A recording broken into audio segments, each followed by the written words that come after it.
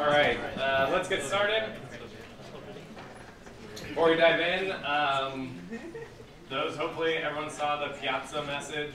Note that I so I decided to uh, extend the homework one deadline to tomorrow night to give you some extra time since uh, I don't have the exact numbers, but I do know there were a total of 600 submissions to the system as of office hours yesterday at 10 a.m. and I just checked and there were 1,600 like since then. So roughly a thousand submissions with like if everyone is a smoke test and then a real submission, that's like 500 submissions. And I'm sure I did not look at the data, but I'm sure they're all clustered around the 10 p.m. to 12 p.m. window. um, so I guess I did not have enough uh, servers and CPUs running to test all of those. So uh, for that, so for people that were able to do it beforehand, uh, since you did stuff on time, which is always good, uh, if you got 100%, you'll get an extra five points on that.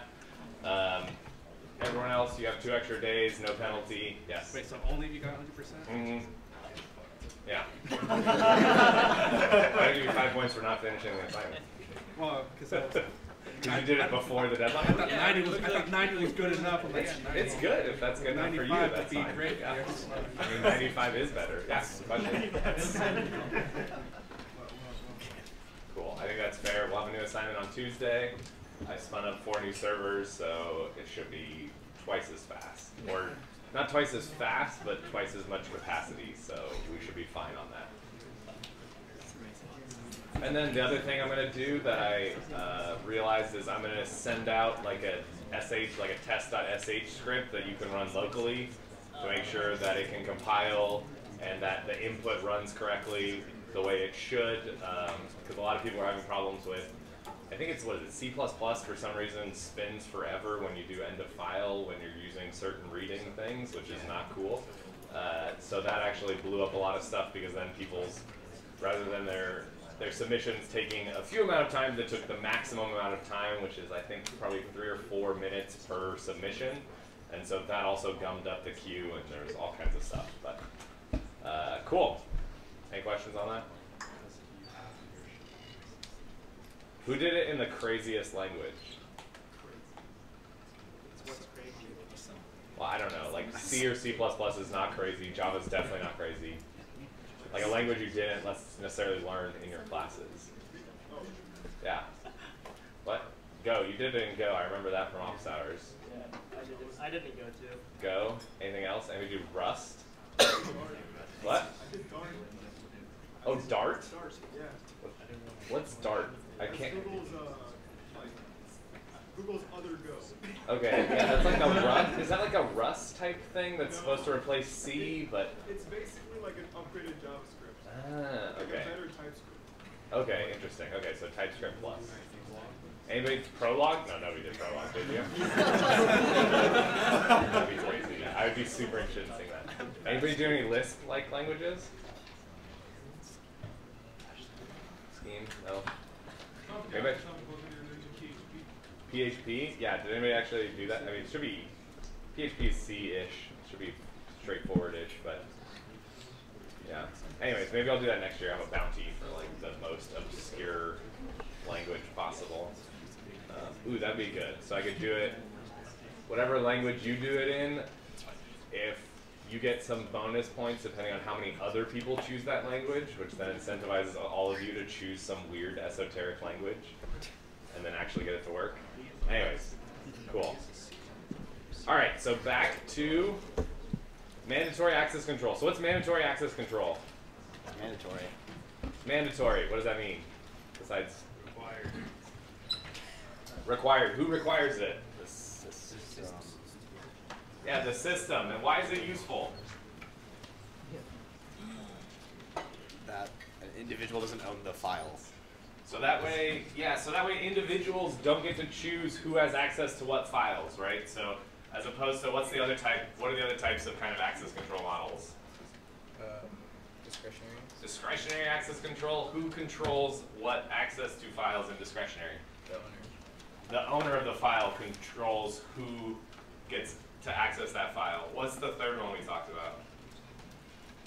Originator control. Originator control, what's the difference there? Originator of the object and controller object. The originator of what? Uh, the object. The object or the data, right? Whatever the, so it's kind of separating that concept of objects, which can be considered files, is actually who initially created that data. So it doesn't matter how many times you copy that data, the originator would still be able to control who accesses that. Great.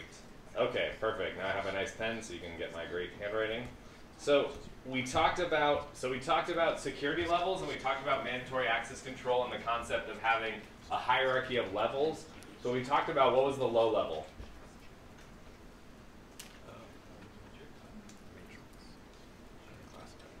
Unclassified. What was above that? Classified. Classified. Above that? Secret. Secret. Above that? Top secret. Top secret. Yeah. Perfect. Cool. So then what were the rules that we derived for, for reading and writing data here? Or let's go with reading first. Yes. Um, it, with reading, it's from top secret down to unclassified. Reading went down, which meant that the subject has to be at, have to be. So, thinking about that, does that mean so if you if an uh, a subject has secret security clearance and the object has confidential, can they read it? Yes. If the subject has secret and the object has secret, can they read it? It's got some conflicting. Usually, if it's the same thing, I will just continue. But Yes. yes, why yes? subject and the object are at the same level. They're at the same level, right? So you should be able to read things at your level. So what if the subject is at secret and the object's at top secret? No. No, we should block that. You should not be able to read up, so you can only read down. Perfect. What about writing? Yeah. You can only write up. You can only write up, so you can only write at your level or higher. Right? So these are some of the kind of questions that we can talk about is uh, you are a you have secret level clearance, can you write an unclassified object? No, Why? so that other secret information doesn't. leak. Right, to ensure that there's no possible way for secret information to leak out. Um, as we talked about in a real system, there's ways to purposely kind of lower your level to the unclassified level so you can write unclassified data. Um, because otherwise, in this organization, no information would ever flow out of this organization, right? Or down the ranks.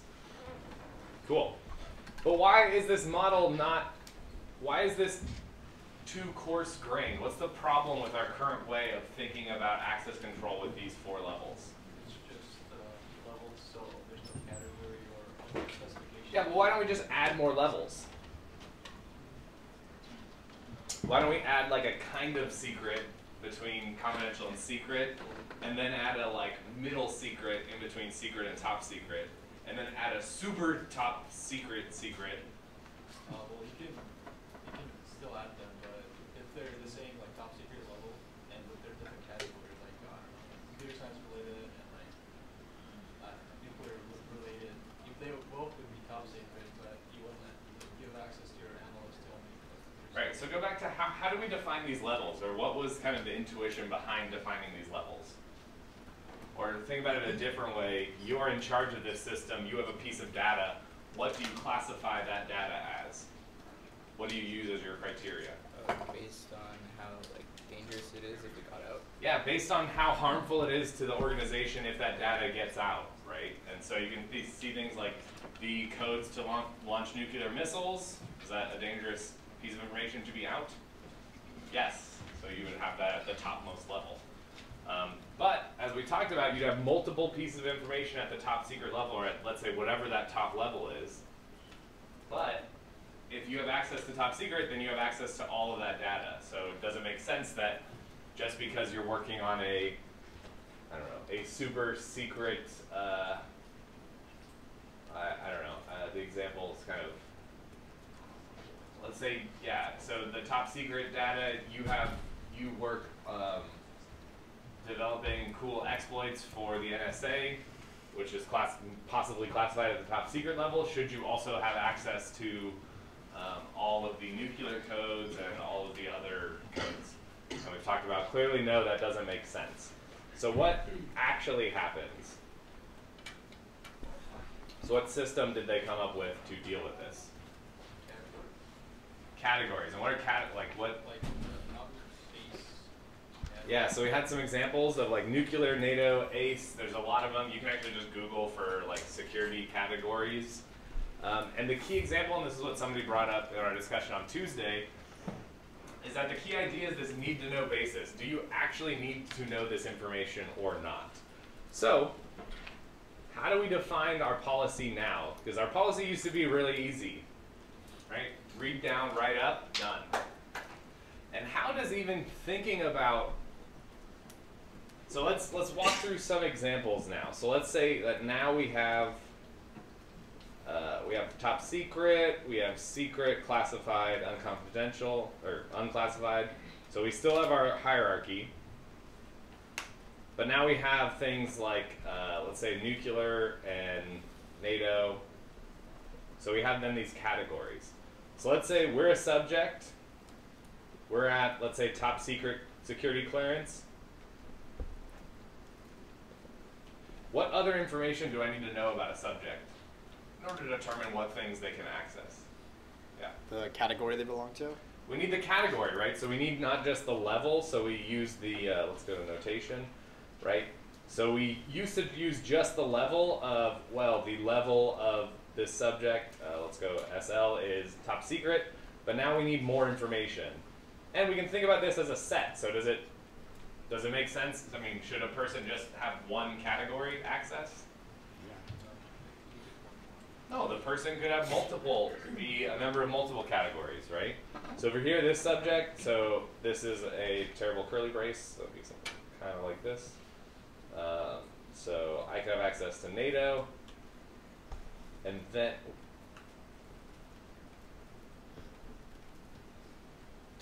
and then, let's say we have some document, some object, and the security clearance here is, let's say, classified and it's nuclear. Should I be able to read this object?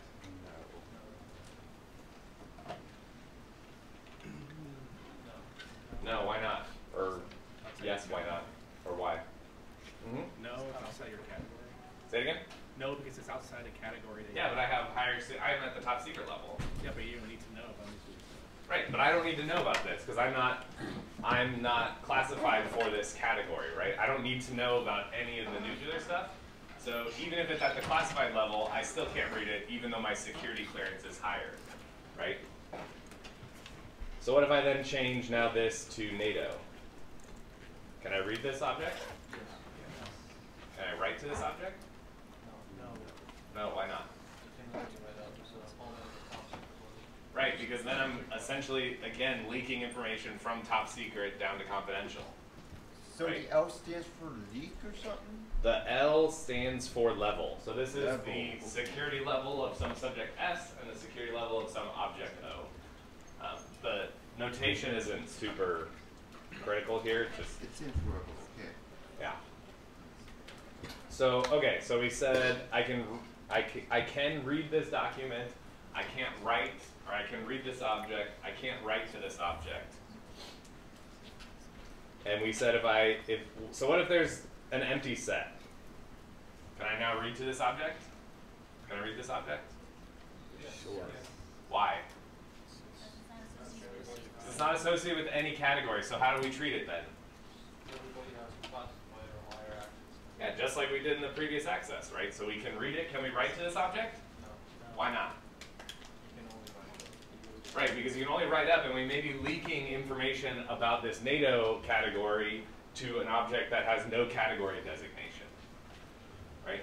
Awesome. Cool. What if I have no category? Can I read this object? Yes. Yes. Can I write to it? No. What are the rules for this? Same. You can only read only unclassified information in top secret or the Yeah, so what are the rules for reading or writing where there's no categories? Just the same, exactly. It's exactly the same as what we just derived up here, right? So then, so then how do we think about, okay, so we said, well, the security clearance is very kind of easy in some sense because we already have that. But how do we deal with these ideas of categories? So let's say I have nuclear and NATO.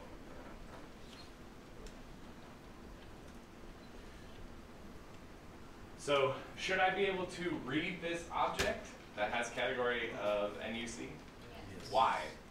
Because it's a part of your list of categories. Yes, so it's a part of my list of categories. But what if this object now is nuclear and ACE? Can't read it because it's not part of your list of categories. Right, and this is terms of sets. So now think about it in terms of sets. So what's the relationship that we're trying to get here?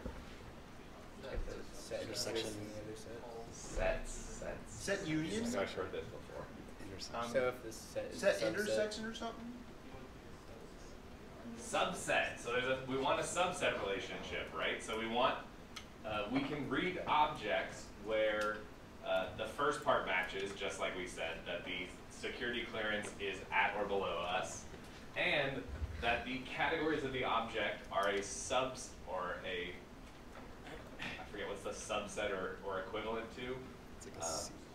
that's It's like a C. Yeah, like the a C bar. with the, the lower bar underneath it. I forget how to pronounce it. Um, so what we want basically, so if we have the category, we want to say is essentially, so read, for reading, we basically have the same one. So the key thing to always remember is if our access is secret and this is a top secret document, should we be able to access it even though we have all the categories? No. No, because fundamentally we still need to keep this top secret secret, this level hierarchy, right? So, and this is exactly what we have. So, and the way to actually express this is very cool. So, what we can do is we can construct basically a lattice based around this subset relationship. So at the bottom of this lattice, we have an empty set because the empty set is a subset of every set. Do you agree with that? Yep. Right? There's always nothing inside of a set. I guess. And at the top, so what's the topmost element where everything else will be a subset of that element? Set of the universe. The set of all categories. Yeah, so that's the topmost level.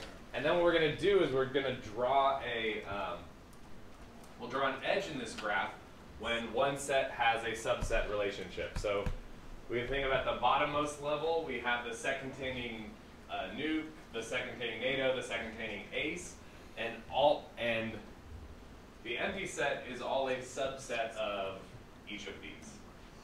But are they subsets of each other? No. Exactly. Cool. So what's going to be the next layer? Two of them combined. Right. All the sets containing two elements. So we'll first have the set containing nuclear and NATO. So then what are the edges going to be? Uh, to both of them. To both nuclear and NATO, right? Because the the object, the set containing nuclear and NATO, the set containing nuclear is a subset of that, and the set containing NATO is a subset of that. And we can just keep going. and we get this super cool structure, and at the very top of this, because we just have three elements, we will have the set containing nuclear, NATO, and ACE. So we can use, so how can we actually use this lattice to answer the question of can this subject read this object?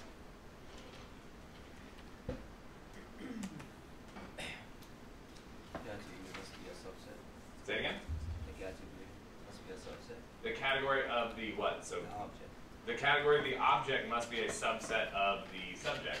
Right, so we can look here and we can say, well, if this is the subject, right, the subject has nuclear NATO, then they can read objects that, and the other way to read this graph is, does the uh, empty set, is that a subset of nuclear NATO? Yes. Yes, so there's a transitive property here, but we're not drawing, you don't draw all the edges because that gets insane.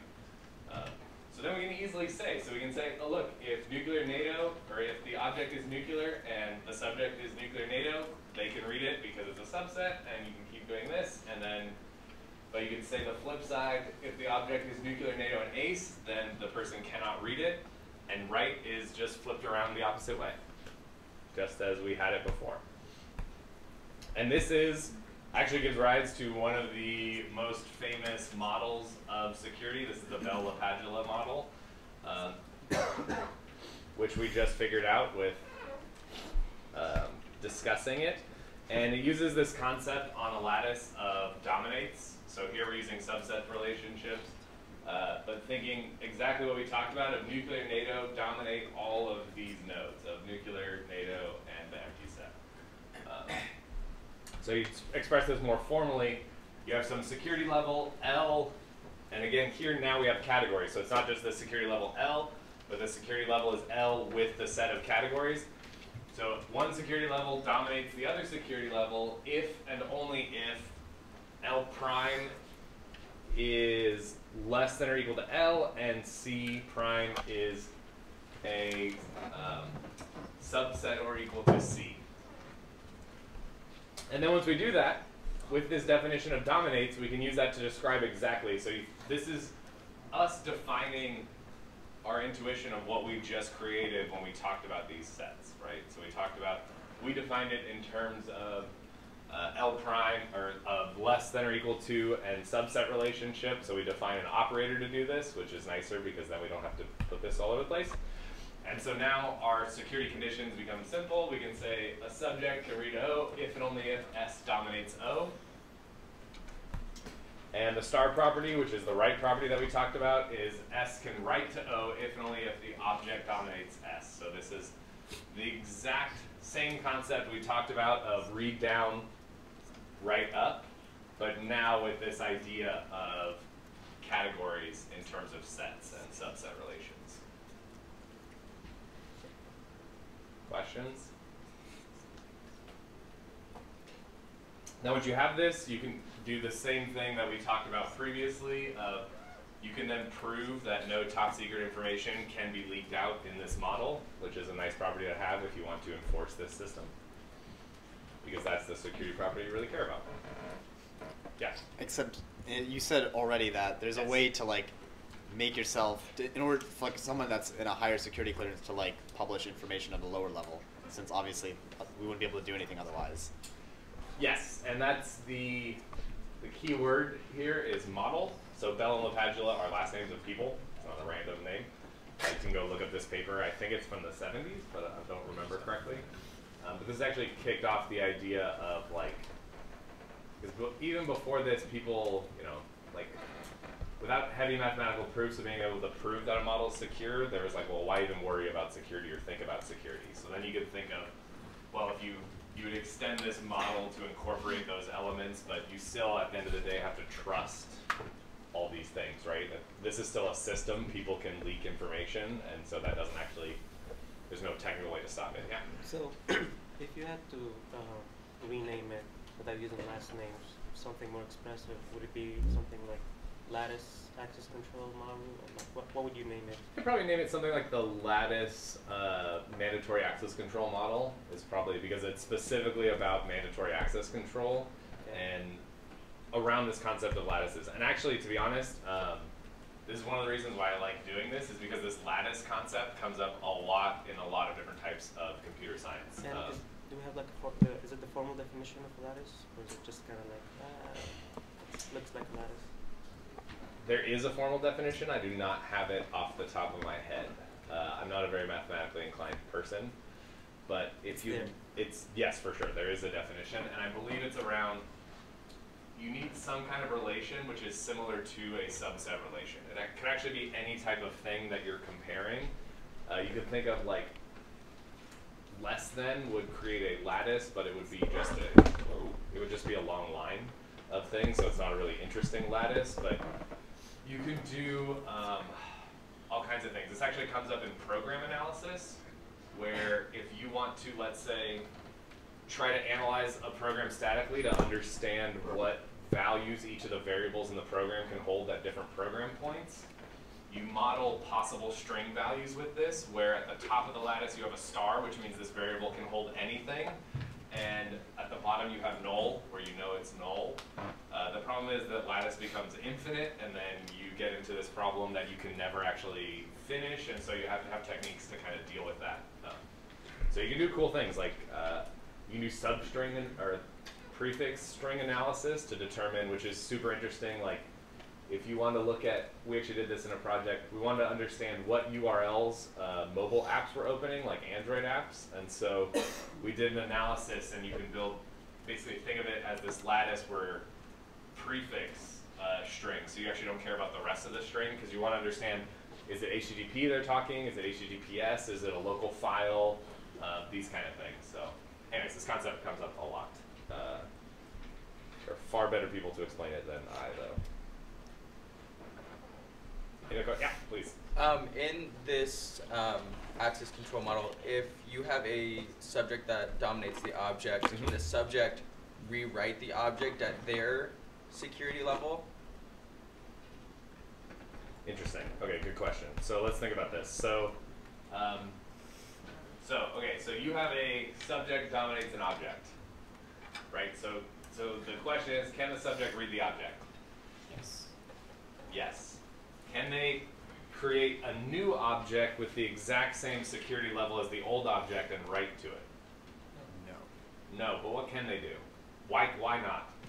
Because they're, They actually can in one case. if it's like the same, if the subset is. Yeah, it's the equivalence, right? If you have an object that's at your security level with exactly the same categories, you can read that object and create a new object with that same level and same categories. But if you're reading a an object and you want to create a new object, what are the properties of that new object that must hold? It's at your level or higher, exactly. So that object dominates your security clearance, right? So this is that idea. So you could create, you could read a lower level object and then create a new object at your same security level and category, and then now that's good and everything's fine. Which is kind of that idea of writing up. And somebody else could do that with your object, it's fine because the only thing you're bringing up is kind of less sensitive information into more secure information, right? You may then have to think, well, is that old information actually at the proper level? And so you may need to think about that, a different problem. Yeah. Can people at a higher security level uh, delete objects at a lower security level? Interesting. I would say that in this model, okay, let's think about that. So what do you mean by delete? Uh, like, like, I like erase it. Like so. So if, what, like, so what are the two actions that subjects can do in this model? Read and write? Read and write. So what would delete be? It would be a write, probably. It would be a write. So can a top secret person overwrite a classified information? No. No, because they can only write at their level or up. And again, this is because what is of the three security properties that we talked about originally, what security property is this model trying to enforce? What are the three security properties? Confidentiality, Confidentiality, integrity, integrity, availability. availability, CIA. Yeah, confidentiality, integrity, availability. What does this model care about? Confidentiality. confidentiality, right? The entire goal is so that uh, information does not leak out of the organization. So it's all about confidentiality. They actually don't care about, uh, in this case, they don't care about integrity at all. Which means that you could actually have somebody, so think about somebody at the unclassified level, could they overwrite top secret data with this model? Yes. Yeah, because they can write to some document and technically delete it, but uh, you could think about that would be an easy thing to extend to then reason about and, and not allow them to. But uh, that's if you just, so this is a, this is, you know, again, model means you only do these two things and that's it. Cool, good questions. Any other questions? Burning questions you've been holding on to for the last week that you desperately need answered? Yeah. About Uh, this class? So it just kind of uh, confuses me a little bit. So I mean, like, like what you said, um, a person like from unclassified can delete like top secret data, basically. Can can write to top secret data is all this model says. But I mean, we're saying that like write includes deleting. Possibly. I think that's one definition. You could think of do you even know the name of the file to delete if you think about it in terms of files? You could think that delete could be a different operation. But then, so I guess my question more is like, well, like, if a person from unclassified is writing to top secret, Mm-hmm. um, I just don't see how like that's not possible like information leak. Ah, well, can they? So let's say you have a top secret document, the nuclear codes. You're at the unclassified model. In this, at the unclassified level, at this level, how do you leak that information? What's the only way you can get those codes? You only have two actions: reading and writing. So, of those two, which is going to give you the information? Read. Reading. Can you read a top secret document in this model? No. But even if you overwrote them, you still don't know what those original contents were. And the question is, what are they being used for, right? If those, if your new codes are then used to prime nukes, then you have a clear problem, right? And that's more about the provenance of data, like where did that data come from? Which is something you could tack on to the end of who changed this last, and then you could decide whether to trust it or not. Yeah. So, but if you wrote the nuclear codes as an unclassified individual, like if you, I don't know, for some reason you were unclassified and you wrote them, Sure. you would have, you wouldn't be able to read them anymore, but you would, you know, like as a person, you would have that information because you Yeah. wrote them. Exactly. Yes, but the question is, does that give you anything, right? Because it, it, it all depends on because at any point somebody else could go and overwrite that information, but still you don't know, you still don't know what that was original. Because like if you think about it, whoever originally created that data, they explicitly tagged it as uh, as top secret. Yeah, I mean, if what if an un, for some reason an unclassified person was the originator of the data, or someone of a lower security clearance was the originator of the data, so they had the original contents of the nuclear codes. Correct. You would have to deal with that.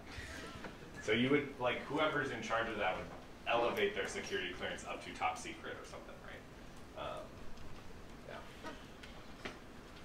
This is. Uh, have you heard of that thing of like? Um, I guess it happens in physics or something where you're like, where they say like, okay, uh, imagine a spherical a spherical Cow. Yeah. right? So it's kind of the same thing of like you're you're you're simplifying reality into this model that definitely doesn't make sense, but allows you to do some interesting things with it. But yes, this is the problem with all models in general is they definitely do not capture all these real world conditions. And so part of the interesting thing, and I'm sure if you look at this model, I'm sure people have proposed all kinds of ways to actually. But the problem is by improving this model, you still need to prove the security properties that no data can leak.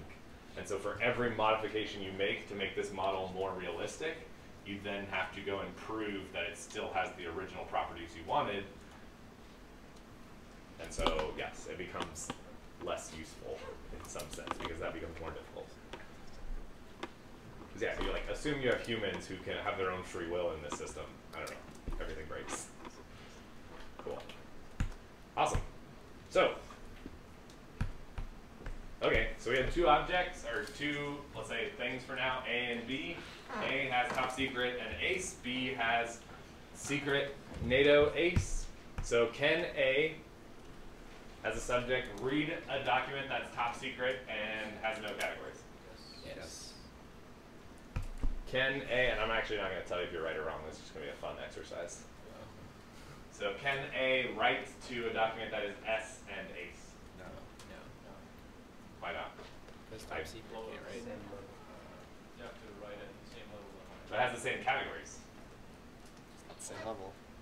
No, no. Yes, but it's not on the same level. This is what trips people up a lot. That's why I'm reiterating this, right? Um, the problem is the secret there. Can they read a top secret document that is NATO and ACE? No. No.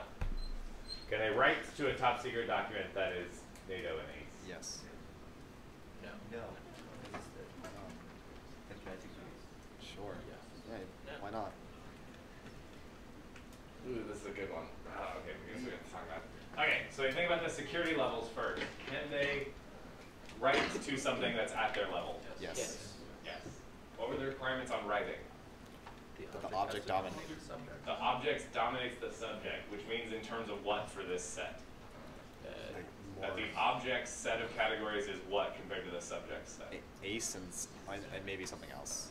uh, that It's a super set. the object is a subset of the subject. Object is a superset. That the object's categories are a superset of the subject's categories. Is that true? Yes. Yes. Again, you can think of this as writing up. And the key thing, if you want to check yourself, is thinking about does this leak any information? So, what knowledge does the subject potentially know here? Ace. Yeah, they know everything that is top secret, that has no category, and also ACE information. So, if they create a document that is top secret and is tagged with ACE and NATO, they're not leaking any information out because people who can read this document have to have what clear what categories? Top secret ace. ACE and NATO, which means they must have ACE, which means it's totally fine for them to read this document. Right? All right, can B, so B is secret, NATO ACE. Can B write to a document that is secret and is NATO? No. No. No. No. Fight, fight, fight. fight. No. Uh, Why yes? Because it's at the same level. Is that the same level? and right, you can write up. Oh, it's an object. Because, yeah. right? So because now, because and what's the key information leakage problem here? You leak ace information. Yes, the ACE category can leak into this document, right? Because B has access to all of NATO and all of ACE, which means if they create a document that is only tagged NATO, that means people who only have NATO will get access to ACE information. Does that make sense? Can they read a top secret document that is NATO and ACE? Yes. Yes, No. why yes? No. No, they can't. no, Why not? because you can only read them. Yes, because of the security levels here, right? The sets are the same, the categories are the same, the levels are the thing that matters. Can they read a document that is secret and is ace and nuclear? No. Yeah. Why yes? Well, Why no? Um, well, can't they? What about the level? Level's Can't fine. they? Level's the same? What are the categories? Ace. Ace is fine, but nuclear is not. But can't they read anything like below their level? In the same category. If they don't have the nuclear. Was it? Exactly, reading on a need to know basis, right? Because if they're able to read this file, what do they have access to? Nuclear. Nuclear information that they should not have access to because they only have access to NATO and ACE. Exactly, so this should be blocked, right? If you think about it, it's because these categories on the lattice, do they dominate each other? No. No, they're next to each other, right? There's no way to compare. There's no subset relationship between NATO ACE and ACE nuke. Neither is a subset of the other, right? So this person cannot read from this file. Can they write to that file? Is that the next one? No, no. Let's go to this. Can they write to this file? Yeah. No. No. No. Yeah, they can. Because they only No, they can't. Well, well, so use a ace, uh, uh, Yes, so they can't because they could leak what information to this file? NATO. NATO, right? We don't care about the ACE information because this is tagged as ACE, but they cannot write to this to this object because they would be leaking NATO information to this object. It's a little trickier than we thought on first blush, maybe. Can they write to an unclassified document that has no security? No. Why not? why to yourself. Lower level, yeah, the security levels are lower. Cool. So these are not, yeah, please. Um, I don't know if it fits in with the model, but are there ever like categories that do trump each other? Say that again? Are there ever categories that do like trump over the other one, or maybe not in this model? You mean like creating categories that are in themselves security levels? I'm sure you could. Uh, could you construct that with this? Would you just make a new level with just that one category? You could make a new level, or you could. you could create categories at each of the levels. So you could have nuke unclass, nuke secret, nuke top secret, and use that in some sense. And then you'd have to make sure you gave everyone who had top secret access to all the other ones, but you could create something similar. But it doesn't just slot right in, it kind of gets messy. It would just make it complicated. Exactly, yeah. Not that everything's not complicated, but. What were the first four again? It was uh, Uh, I don't know, you'll have to go back on the tape later and view them, or think about it and talk to your fellow students.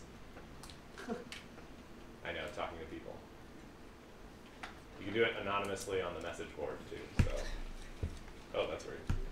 Oh. Okay, cool. So, we are, actually. Oh, interesting. What time is it? Wow, we're ahead of schedule. I'll do this quickly. Awesome. Cool. Okay, so key thing. Uh, so there are other types of access control models that are based on things that we did not talk about. So what what was kind of for all of these models? What were some of the key notions about subjects that affected whether somebody could access an object or not?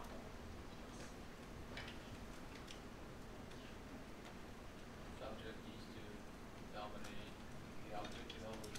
So in the mandatory access control, we had basically that uh, we needed to know the security level of the subject and we needed to know the categories. What about for discretionary?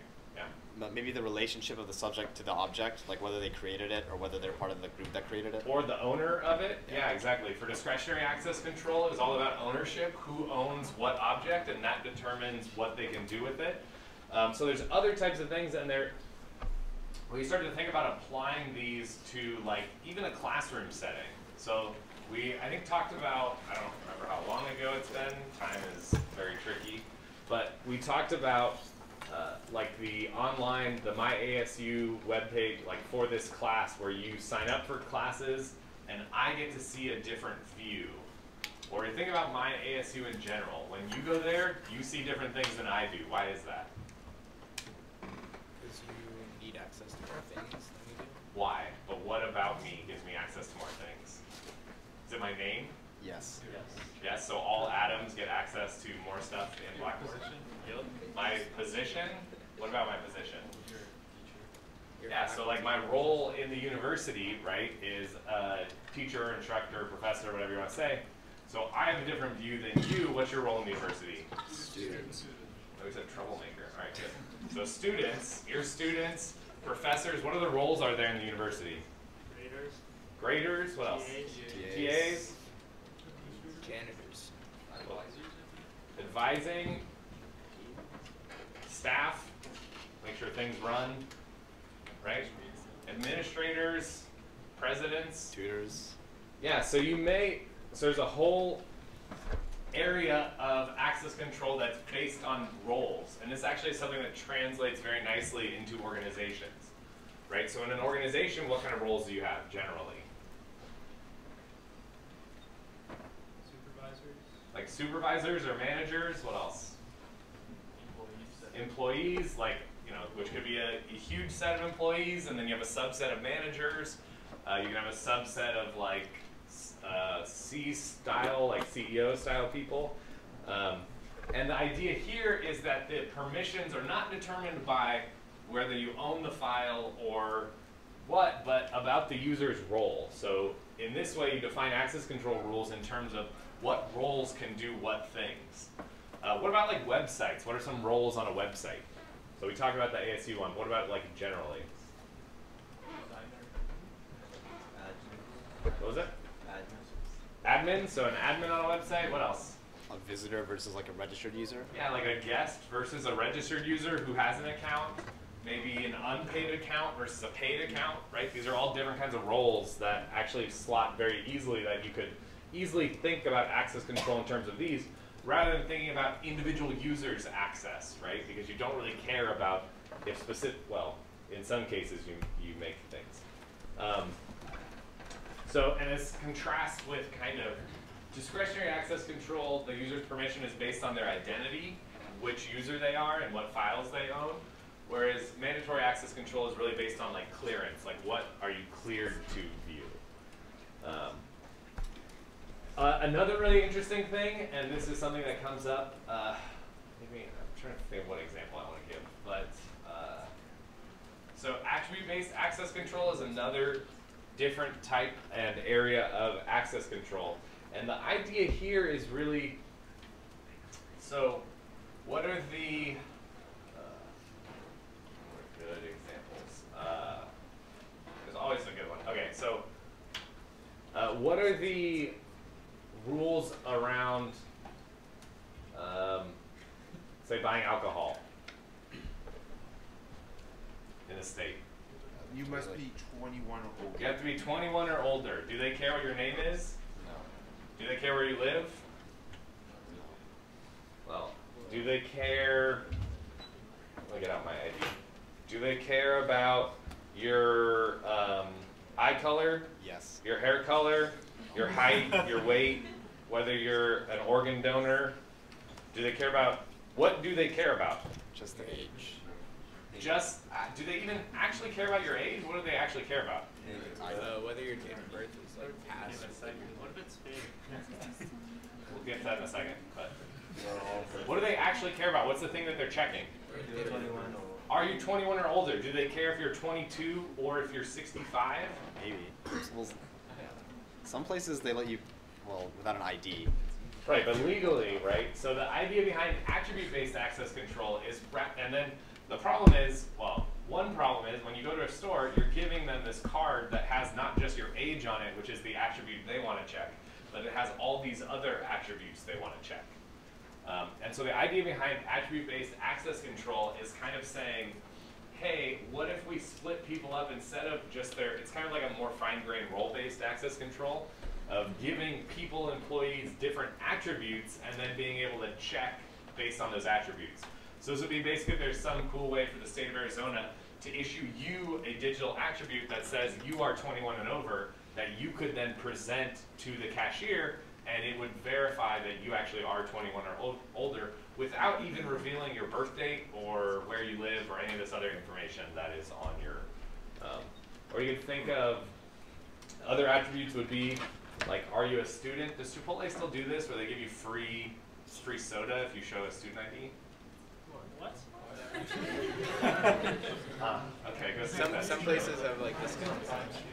Uh, yeah, or let's say Amazon. Yeah, you get or GitHub. You get free um, free private accounts as long as you have an edu account or Amazon's edu account. Right? These are all things that what they're using is usually email-based authentication to see if you have it or not. But it would be kind of cool, and this is what attribute-based access control tries to deal with. Uh, how do you actually create these attributes such that other people can verify them? Um, and so what's really cool is you can make complex Boolean expressions on these attributes. You could, you could really do complicated things by saying, um, if you're a member of this group and you're of this age, then you get access to these things. Uh, so it really allows really fine-grained access control rules that can help people uh, do those kinds of things. And so, and there's a whole host of kind of other types of access control. And, and some of the interesting things of, if you think about, and I always think about, okay, so what's the cool research topics here? What's actually kind of, because what you're learning about is the stuff that is kind of current, right? But scientists are going out there trying to research and push the bounds here. So one key thing is usability. So we talked about, um, we talked about uh, usability in terms of mechanisms and security mechanisms. If a mechanism isn't usable, then people will either misdeploy it or remove it.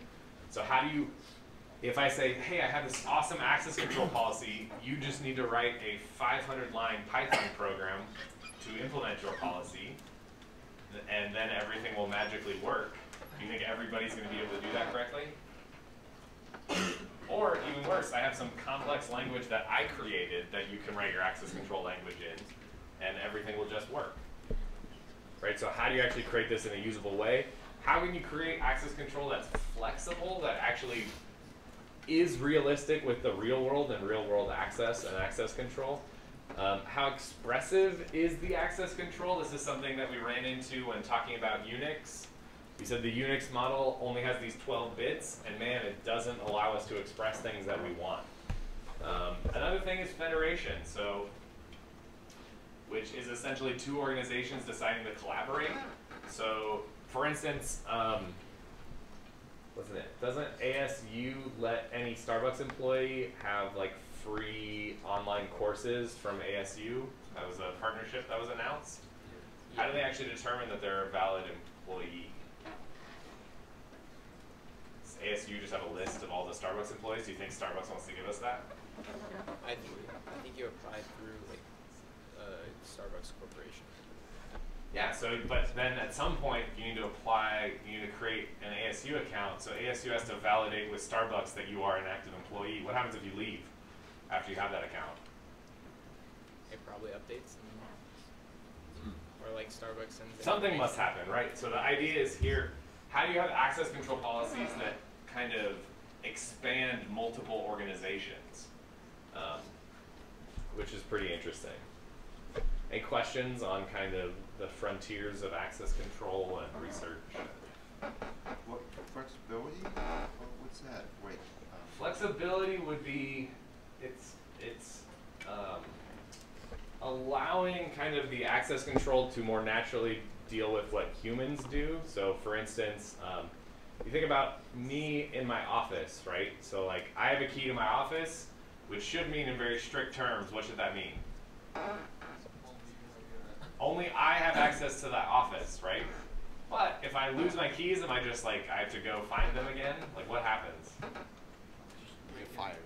I'm fired. They're just like that office is now no longer usable by anyone. and so it's just a bunch of offices that are empty with ghosts in them because nobody, everyone lost their keys. You have to get a key.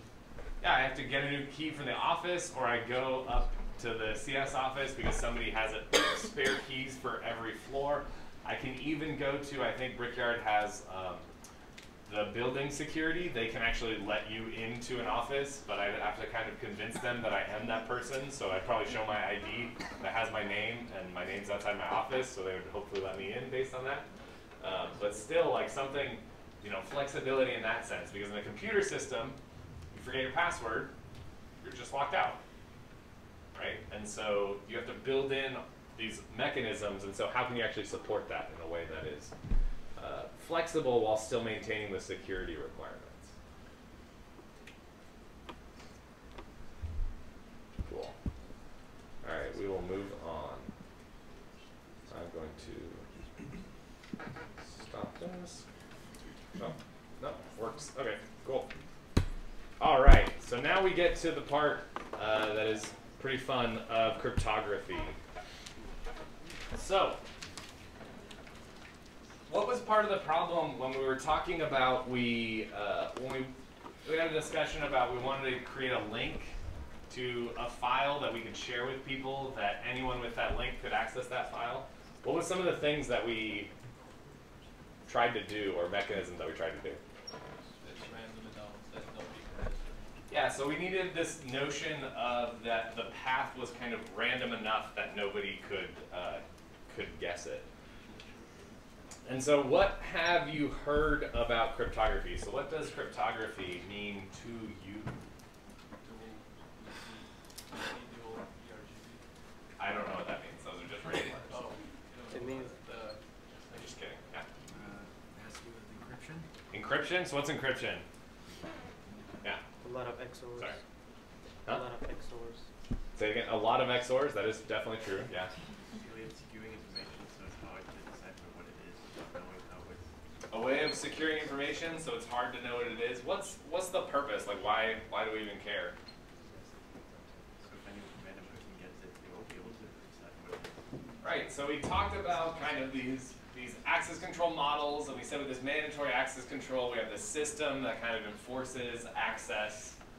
We can have these all these great properties, but really at the end of the day, you need to actually share information with people, right? And you need to send information.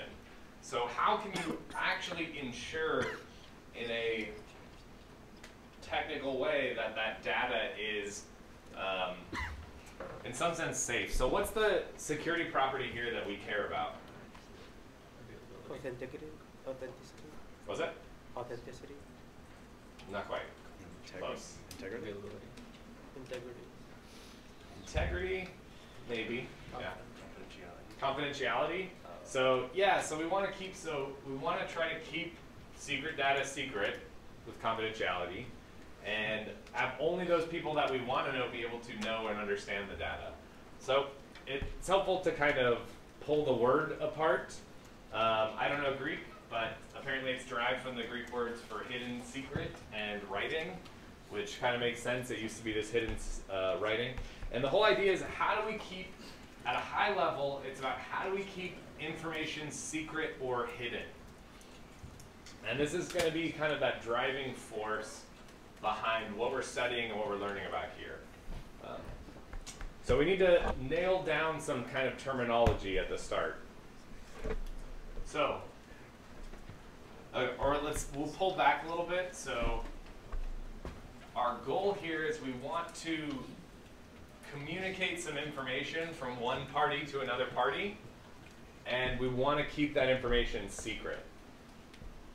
When would that be useful? If somebody were, Sorry, we just go back here? Yeah, what was? What? Credit cards. Credit cards.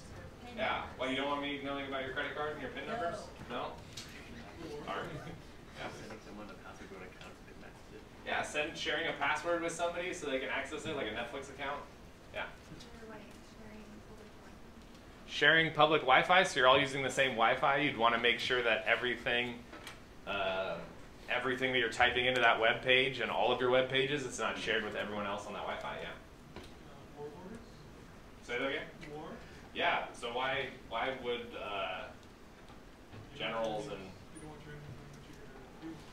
yeah why? I mean, is it would it be useful? to Know what your enemies are going to do. Yes. Very much yes. Yes. Right? So this is actually, I mean, a lot of what we'll see where cryptography came from came from military context because you have this problem where you need to communicate information to people about what you're doing or what the attacks were or where to move ships. And then the, your adversary would love to know that information about where your ships are going to be and what they're going to do. And so um, cryptography was really created in this way of trying to keep information hidden and secret. Any other areas we want? Yeah. Uh, maybe to comply with legal requirements, like FERPA, for example. I think you're not supposed to like put student information on an unencrypted drive.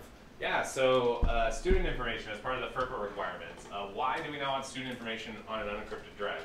Because if it gets stolen, then anyone has access to it. Yeah, then if anyone stole my laptop, they would get access to all that student information on there. If it's encrypted, then, and comma, they can't break the encryption or the key or whatever, then uh, they won't be able to find it. So cryptography actually, it actually forms a basis, if you think about it, I mean, it came from this kind of war and uh, warfare context uh, from actually a long ways ago, but really kind of has such practical use nowadays, it's kind of crazy, right? So you think about would you ever trust banking or doing anything on the internet if you had no way to guarantee that the information you're sending to the bank, nobody else can see it?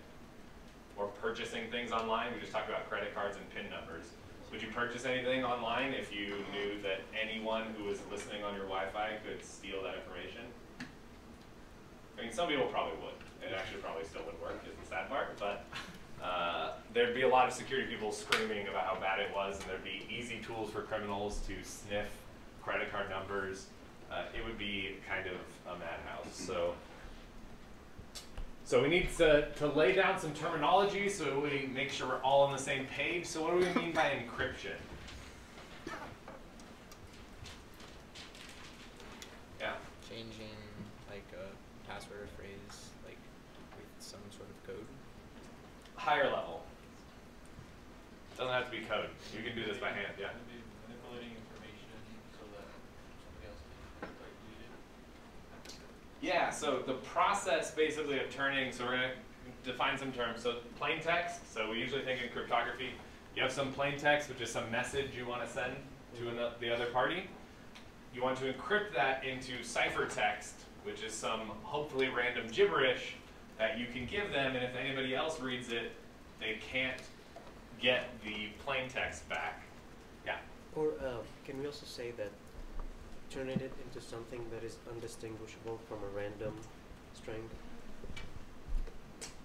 I would I would say that that is the property you want from a lot of encryption algorithms. You could have some crazy encryption algorithms that like spit out English text. Like you could map random bits to a, I don't know, depending on what you're trying to. If you wanted it to not quite look like random bytes, you could do things there. So at a high level, I Isn't think that yeah. steganography then? Isn't that hiding information inside other information? It can be, but you, yeah, it's in some sense, yes. It, they're related. I don't know that I want to draw a fine distinction between the two, but, but yeah, you can think of um, ways of that doing that. But, but yeah, the idea is so encryption is you're transforming a message. So from so a plain text message into some ciphertext that the meaning is concealed, and that's what we'll go with for now. We'll we'll get more deeper into the weeds here. Um, so what would be decryption? The opposite, taking some ciphertext and turning it into some plain text. We didn't talk about it all yet, how that happens. We'll go into all of that, uh, but this is really good for now. And so this is this whole idea of how do you actually do these two steps, right? How can I even do this such that I have some message in my mind, I transform it into something crazy, I give it to one of you, and only that person can decrypt it, but anyone else that gets it will not be able to turn it back into that plain text. Kind of, it's actually crazy that all this stuff works. Like, this is nuts. Um, so when we think about, so more terminology, so we think about a crypto system. So this would be basically a system that describes how to encrypt or decrypt messages. So you'd say, okay, with AES, this is how it works, or with this kind of crypto system. But all you need to define are those two functions that we talked about, which are Encryption. And encryption and decryption. Thinking in terms of functions, what's their input? So what does encryption take as an input?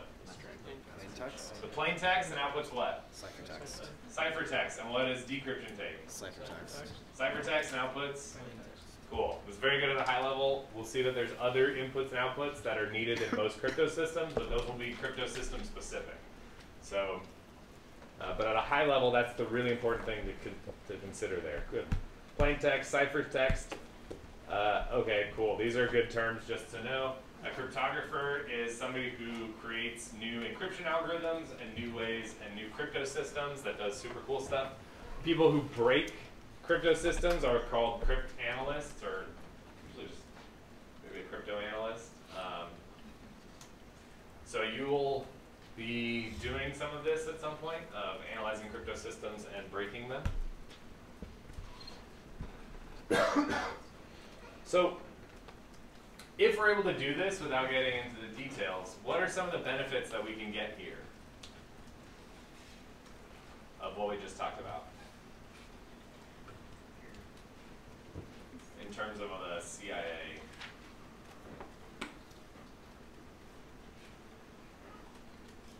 So assume we have some crypto system, we can encrypt things, the other person can decrypt things. So, it's communicate. Maybe. Wha- How, what would integrity mean in this sense? Um, if somebody would like get that information, they wouldn't specifically be able to decrypt it. So. But how's that integrity? What is integrity concerned with? Yeah. Uh, integrity concerned with like that the messages when it reaches the other end, it's accurate to what it was said. Yeah, so in this case, it'd be the plain text that I send you, you get exactly the same plain text back from that ciphertext. And then what's confidentiality in this context? Uh, that only the intended recipient can actually read it. Right, so that I have this plain text, I generate ciphertext, I can give this ciphertext to the entire world, but only my intended recipient will be able to actually decrypt it. So this is, and if you think about in terms of what we've been talking about, right, this is kind of a mechanism that you can use to get confidentiality. Um, and you can also do cool things. Uh, we will use, uh, there'll be some crypto things to do integrity so that the person receiving the message can actually verify that um, it was the same message that you originally sent, that the plain texts are the same. What about authentication? Is that important? Yes. What does authentication mean in this context? That you are who you say you are. That I am who I say I am, but I'm just messages, yeah. The message that you get is actually from the person you think you're getting it from. Yes, so the met it's similar concept but framed in the way of these crypto systems is that if I receive a message and I think it's from one of you, then I actually know that it's from one of you. Right? So you think about like for instance, let's say somebody sent me an email saying, "Hey, I'd like to change my uh, password on the submission server." My user, my hacker alias is foobar. I go and change foobars, but I never authenticate that the person who sent me that message actually was that person. And now they know this password and can change it. Um, some other security benefits we didn't talk about that we'll get into, I mean, that we'll see how it's done. So non-repudiation, what does that mean? What does repudiation mean? Fancy word? Denying um, Denying what? sending or receiving. Denying that you ever sent the message, right? Repudiation is would be like, I never sent that message. So what would non-repudiation mean? You can't do that. Can't do that. Yes. It's not a trick question. Um, so this would mean you can use cryptography to do something like you can tell your um, your banking firm to sell a thousand shares of the stock. They go and do that, but the stock tanks. You can't then go and say, "Well, I never sent that message. Somebody else must have sent that." Right. So you can think about it in terms of a little bit in terms of authentication of who sent it, but verifying that this person actually sent this message uh, in a essentially a cryptographic way, which is good. Um, cool. Okay, so we can formally define a crypto system, and this is kind of the standard way to define this. E, never mind. I'm just gonna do something silly. So we have E and D. These are already very easy. We already discussed them. What are they? Encryption. Encryption and decryption, right? Some functions encrypt, some functions decrypt. M is the set of possible plain text. Why is why do you care about this? If it's, it's too small, then you can. Yeah, or you think about um, has anybody done a very simple, basic encryption scheme when they were younger? You ever write notes in class? And, Yeah. yeah, what did you do? Did you were you able to encrypt arbitrary bytes? You send a JPEG to somebody? No. What does your encryption scheme work on? Text, right? Usually A through Z, right? Even just 30, you know, the English alphabet. Um, and so that's why this is important, is thinking about what is the set of possible plain text. So is it all English characters? Is it alphanumeric? Is it arbitrary bytes, which is really what we care about now? Um, and you think about back in like wartime, this is actually what they were, they weren't sending arbitrary messages, right? Think about like World War II era, they're sending like messages to each other in, usually not English, but in whatever the language is of that other country. Um, so then K is some set of keys, as we'll talk about. Usually you need some kind of keys here. You don't just get encryption for free or crypto systems for free, and we'll see how those are used.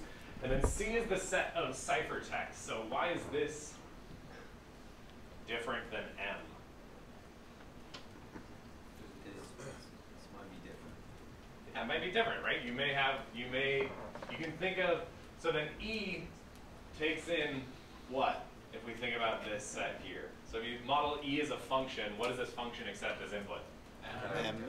M, probably M star or something like that, right? Of the all possible things that are inside this set M, and it outputs what? C. C, and then decryption is the opposite. Takes in ciphertext, outputs plaintext. Cool. So look at this, where did this?